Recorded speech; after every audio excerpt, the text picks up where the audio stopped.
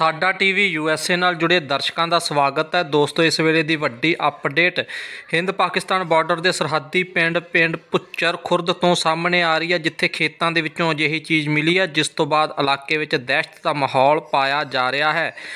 ਜਿੱਥੇ ਪਹਿਲਾਂ ਵੀ ਸਰਹੱਦੀ ਖੇਤਰਾਂ ਵਿੱਚ ਕਈ ਡਰੋਨ ਮਿਲਣ ਕਾਰਨ ਲੋਕਾਂ ਵਿੱਚ ਡਰ ਦਾ ਮਾਹੌਲ ਪੈਦਾ ਹੋ ਜਾਂਦਾ ਹੈ। ਉੱਥੇ ਹੀ ਹੁਣ ਇਸ ਪਿੰਡ ਵਿੱਚ ਪਿਛਲੇ 7 ਦਿਨਾਂ ਦੌਰਾਨ ਦੂਸਰਾ ਡਰੋਨ ਮਿਲਣ ਕਾਰਨ ਇਸ ਪਿੰਡ ਦੇ ਕਿਸਾਨਾਂ ਵਿੱਚ ਦਹਿਸ਼ਤ ਵੇਖੀ ਜਾ ਰਹੀ ਹੈ, ਕਿਉਂਕਿ ਖੇਤਾਂ ਵਿੱਚੋਂ ਮਿਲਣ ਵਾਲੇ ਡਰੋਨ ਕਿਸਾਨਾਂ ਦੇ ਮਨਾਂ ਵਿੱਚ ਡਰ ਪੈਦਾ ਕਰਦੇ ਹਨ। ਇਸ ਘਟਨਾ ਦਾ ਖੁਲਾਸਾ ਉਸ ਸਮੇਂ ਹੋਇਆ ਜਦੋਂ ਦਿਲਬਾਗ ਸਿੰਘ ਪੁੱਤਰ ਸਵਰਨ ਸਿੰਘ ਆਪਣੇ ਪਿੰਡ ਦੇ ਹੀ ਕਿਸਾਨ ਗੁਰਭੇਜ ਸਿੰਘ ਪੁੱਤਰ ਪ੍ਰੀਤਮ ਸਿੰਘ ਦੇ ਖੇਤਾਂ ਵਿੱਚੋਂ ਲੰਘ ਰਿਹਾ ਸੀ ਜਿਸ ਨੇ ਇੱਕ ਛੋਟਾ ਜਹਾਜ਼ ਜਹਾਜ਼ਨੁਮਾ ਖਿਡੌਣਾ ਵੇਖਿਆ। ਉਸ ਨੂੰ ਲੱਗਿਆ ਕਿ ਕੋਈ ਖਿਡੌਣਾ ਹੈ, ਪਰ ਜਦੋਂ ਉਸ ਵੱਲੋਂ ਵੇਖਿਆ ਗਿਆ ਤਾਂ ਉਸ ਵੱਲੋਂ ਇਸ ਦੀ ਸੂਚਨਾ ਥਾਣਾ ਝਬਾਲ ਨੂੰ ਦਿੱਤੀ ਗਈ, ਜਿੱਥੇ ਪੁਲਿਸ ਵੱਲੋਂ ਮਾਮਲਾ ਦਰਜ ਕਰਕੇ ਇਸ ਦੀ ਜਾਂਚ ਸ਼ੁਰੂ ਕੀਤੀ ਹੈ। ਦੱਸਿਆ ਗਿਆ ਹੈ ਕਿ ਬਰਾਮਦ ਕੀਤੇ ਗਏ ਡਰੋਨ ਦੇ ਪਿੱਛੇ ਲਿਫਾਫੇ ਵਿੱਚ ਬਰਫੀ ਦੇ ਪੀਸ ਬੰਨੇ ਹੋਏ ਸਨ। ਪਹਿਲਾਂ ਵੀ ਸਰਹੱਦੀ ਖੇਤਰਾਂ ਵਿੱਚ ਅਜਿਹੇ ਬਹੁਤ ਸਾਰੇ ਮਾਮਲੇ ਸਾਹਮਣੇ ਆ ਚੁੱਕੇ ਹਨ। ਤਾਂ ਦੋਸਤੋ, ਇਸ ਤਰ੍ਹਾਂ ਦੀਆਂ ਹੋਰ ਤਾਜ਼ਾ ਜਾਣਕਾਰੀਆਂ ਲਈ ਚੈਨਲ ਨੂੰ ਸਬਸਕ੍ਰਾਈਬ ਕਰੋ, ਵੀਡੀਓ ਨੂੰ ਸ਼ੇਅਰ ਕਰਨਾ ਨਾ ਭੁੱਲੋ।